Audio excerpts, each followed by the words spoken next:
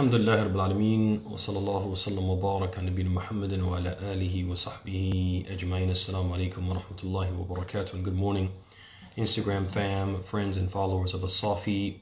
Thank you for joining me for another segment in our ongoing series Revert Reflections. And this week's theme that we've been discussing is the what sets Islam apart from other faiths. And in the last few days, we've been talking about the most, the greatest distinguishing feature of Islam being Islamic monothe- monotheism. Beyond that, uh, the strict commitment or the commitment in Islam to the strictest form of monotheism. And we talked a little bit yesterday about some of the characteristics of that strictest form of monotheism. We talked about how Islam um, considers uh, polytheism and idolatry the most heinous spiritual crime and the only unforgivable sin. We also talked about how Islam bans all forms of polytheism. And we wanted to mention two more characteristics uh, today. The first of which, the first of which is that not not only does Islam ban all forms of idolatry and polytheism, but it specifically it goes beyond that, beyond saying, "Hey, polytheism is not allowed." It goes beyond that, and it strictly prohibits specific polytheistic beliefs and practices. It identifies them and says, this is polytheism, don't do this. And so that makes it easy for us to avoid falling into it because it's not just a general ban, but it's specific things which are identified. We're made aware that, hey, if you do this, you'll be guilty of monotheism, so don't do it. And so I want to mention some examples from the Sunnah of the Prophet ﷺ in which he identified specific practices and told us, hey, don't do this because it constitutes monotheism and would be a violation of the most uh, of the of the greatest fundamental tenet of Islam. So, for example, in one hadith, the Prophet ﷺ, he saw a man who was wearing a uh, a, a, a, a, band made from a, a high quality um, of brass. And he asked him, he said, Ma hadihi. He said, what is this band or this bracelet that you are wearing?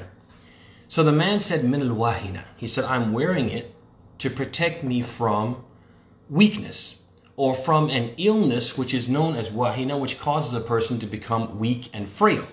So the Prophet ﷺ, upon hearing this, he said, Inzi'ha. فإنك لو مت وهي عليك he said انزعها فإنها لا تزيدك إلا وهنا فإنك لو مت وهي عليك ما أفلحت أبدا he said remove it immediately it will only increase you in weakness it will only make you frail it won't make you strong it won't protect you from a disease that will make you frail this band or this bracelet is going to make you frail and if you were to die while wearing it you will not achieve salvation under any circumstance. Why? Because this is a type of shirk. This is, as we said, it's a type of a violation of monotheism, a type of idolatry, because you are basically saying that this thing can either determine the outcome or influence the outcome. And again, this is a quality that we only give to Allah. If we give it to something or someone other than Allah, we are guilty of what? We're guilty of polytheism or idolatry. Another example is that the Prophet said in one of his hadith, he said. He said, whoever wears an amulet has fallen into idolatry. Whoever wears a lucky charm has fallen into idolatry. And so the Muslims, they don't wear things with the belief that this thing can bring about some benefit. It can make me lucky or fortunate, or it can protect me from some harm. That I won't be harmed by the jinn, I won't be harmed by evil spirits, I won't be harmed by my enemies at work and the people who are out to get me this will protect me from them again. The protection comes from Allah. We have to believe that the one who influences and determines the outcome for us is Allah, and nothing else can do that independent of Allah.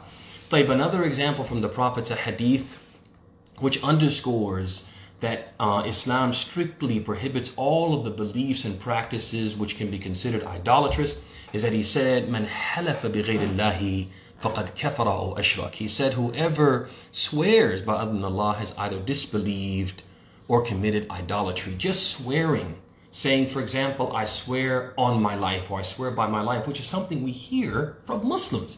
I swear on my life, I swear by my life. this is something which, again, is something which is considered in Islam. It's identified as a practice which is akin to polytheism and idolatry. Why? Because when you swear by something, it's indicating that that thing is great. It is revered. It is venerated in your sight. Venerated to a level which only befits Allah. And again, we don't equate Allah in anything that is is, is exclusively his. We don't equate him or make a rival with him in that, in anything or anyone. One last example under this category is that um, one of the companions of the Prophet ﷺ came to him and he said, Ya Rasulullah, inna minna rijalan, ya'tun al-kuhan. He said, O Messenger of Allah, there are some people amongst us who go to the fortune tellers and soothsayers. They go to these palm readers. They go to people who will tell them uh, their fortunes and their future and what's going to happen to them in the coming days, in the coming weeks, in the coming months, in the coming years. O Messenger of Allah, there are people who do this. What do you say about that? The Prophet said, فَلَا تَأْتِهِمْ He said, don't you go to them. And there are other hadith where he specifically uh, called that a type of polytheism or idolatry. So these are some examples, and we could give many, uh, but we don't want to give an exhaustive list. But these are some examples of the Prophet ﷺ identifying specific practices and saying this is polytheism, this idolatry, and it's not allowed in Islam because it violates the most fund- it violates the most fundamental tenet of Islam. Let's go to the fourth category. Uh, the fourth category we said was that Islam not only does it prohibit specific practices, but it also establishes safeguards to prevent polytheism from finding its way into our beliefs, our belief system, and our religious practices. Because Islam can prohibit and identify specific practices, but if it doesn't prevent the things that could lead us to, if it doesn't prevent the steps, things that are actually allowed, but if we allow them to just go on and go on and we continue down the path that they lead us down, we'll end up committing uh, polytheistic practices or we'll end up adopting polytheistic beliefs. So Islam doesn't just prohibit the idolatrous practice, but everything that could lead us to engage in idolatrous practice. So for example, um, the Prophet he said, لا تتروني كما أترت النصارى ابن مريم إنما أنا عبد إنما أنا عبد فقولوا عبد الله ورسوله The Prophet ﷺ, he told his companions, he said, do not uh, overpraise and excessively praise me the way the Christians overpraise and excessively praise the Son of Mary. I am merely a servant. I am merely a servant. I'm merely a human being. So say the servant of Allah and his messenger. So the, now obviously, um, praising the prophet, it's it on its by itself is not shirk. But people can praise the prophet and praise the prophet to the point where they start to equate the prophet with Allah and assign to him certain divine or godlike powers and abilities. And so to close that door, the Prophet ﷺ said, don't excessively praise me. Just what? Just say he's a human being. He's the servant of Allah and God's messenger. Suffice yourself with that. Let's close this door to praise which is acceptable, which will lead to praise which is what? Borderline unacceptable, which will lead to praise which is totally unacceptable and equates me with Allah. Let's just shut that door. Another example is the Prophet ﷺ prohibited the making and the hanging of pictures. And he prohibited the carving of statues. Why? Because that carving of statues and hanging of pictures has led and can lead to people associating these images and the people in these images with God, with Allah subhanahu wa ta'ala, and equating them with God and making them idols which they which they actually offer acts of worship to. And so to close that door, Islam prohibits the hanging of pictures. But how many times do you go into a house of a Muslim, whether they're a new Muslim or not, and you see pictures everywhere? You picture, see pictures all over the wall. What is this telling us, brothers and sisters? Um, that people, despite all of this information that's available to us about what sets our religion apart from other faiths in general, and specifically the most distinguishing, the greatest distinguishing feature of our religion, which is monotheism, many Muslims in general and many converts specifically, even though they may have been Muslim for many years, they fall into these beliefs and they fall into these um, practices which contradict Islamic monotheism. So you have, for example, Muslims will say, for example, um, this is my lucky shirt.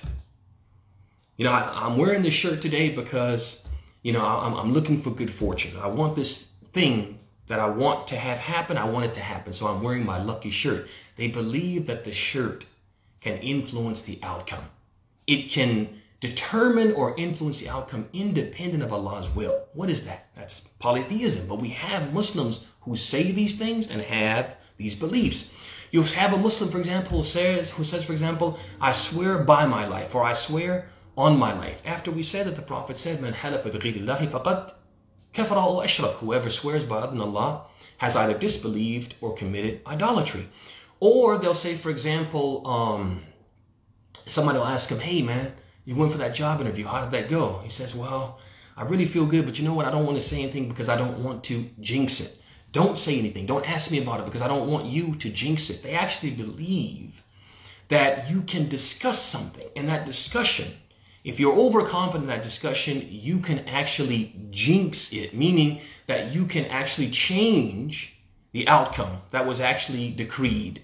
That somehow, some way, speaking about it can annoy certain spirits, I guess, and that will they will ultimately influence or change the outcome. These types of things you hear Muslims saying them, brothers and sisters, and, uh, and, and, and showing, indicating that they hold these beliefs which contradict the most fundamental tenet of Islam. Now, the first thing that people will say when I say this is that, well, they just don't know any better.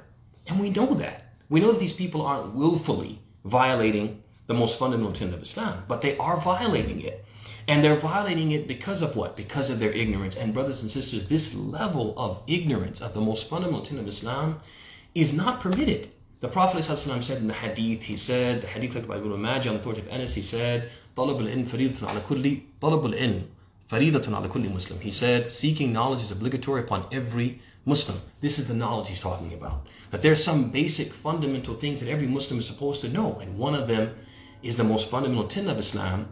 What constitutes monotheism, what const- so that we can practice it, and what constitutes polytheism, idolatry, so we can avoid it. This is what the Prophet is saying when he says it's obligatory upon a Muslim to know these things. It's not permissible for us to be ignorant about the most fundamental tenet of Islam. We also have to think, brothers and sisters, that we're talking, what are we, what, what's our overarching theme? Our overarching topic is what sets Islam apart from other faiths so that we can have both feet in Islam, so that we can not so that we can we can avoid unwittingly having one foot in Islam and one foot in another faith.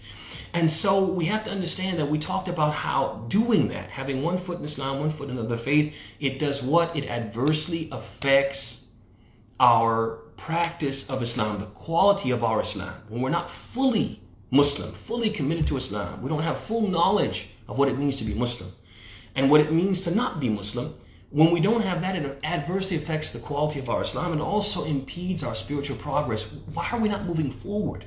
Why do I not feel my Iman increasing? Why do I not feel closer to Allah? Because why? Because one foot is not firmly in Islam. And so this, the way that we resolve this is we need to educate ourselves.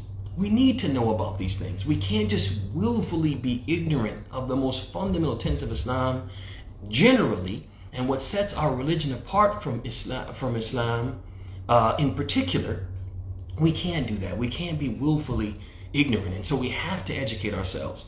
And I think we've spent enough time on this topic today. Um, and I hope that what I spoke about resonates with you. I hope that it, it, it moves you to, to, yeah, crack the books scroll the internet for the good scholars or the good speakers who have uh, specific lectures and presentations that they've given on Tawheed. And to listen to those lectures and to educate yourself about this most fundamental tenet. Why? Because willful ignorance of it is totally unacceptable, brothers and sisters. And we're and we're we're not getting better, not because we're bad people. We're not getting better because we haven't committed ourselves to getting better.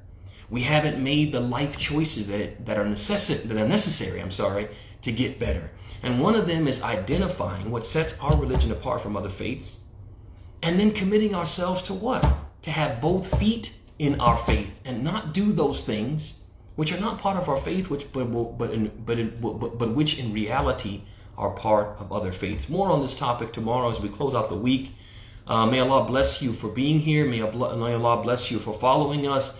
May Allah bless and reward you for sincerely reflecting with us and making the introspection that we all need to make and trying to make yourself better. And may Allah make us all successful in that process. Ameen, ameen, ya rabbal alameen. Wa sallallahu wa sallam wa barak ala Muhammadin wa ala alihi wa sahbihi ajmain. Assalamu alaikum wa rahmatullahi wa barakatuh.